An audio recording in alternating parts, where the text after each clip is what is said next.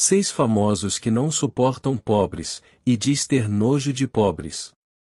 Você já se perguntou como são as personalidades dos seus famosos favoritos quando as câmeras não estão gravando? Regina Casé Apesar de sua imagem de simplicidade e proximidade com o público, há relatos que ela não é tão receptiva quanto parece, evitando interações com fãs e preferindo manter certa distância. De 0 a 10, que nota Regina Casé merece?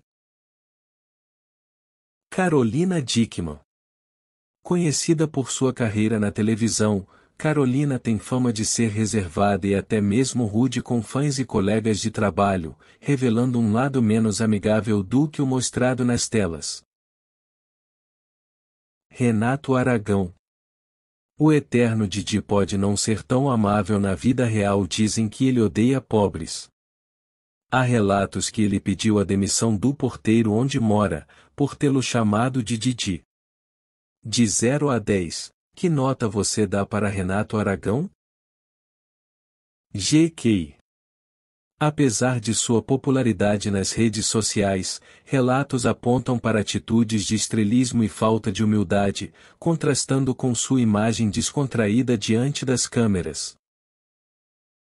Miguel Falabella Conhecido por seus papéis cômicos, Falabella já gerou polêmica ao expressar desdém pelos menos favorecidos, revelando um lado controverso por trás de sua persona pública.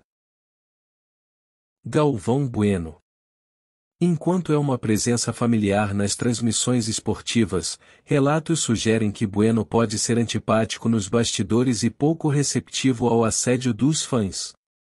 Se você assistiu esse vídeo até o final, não esquece de dar aquele joinha e se inscrever no canal.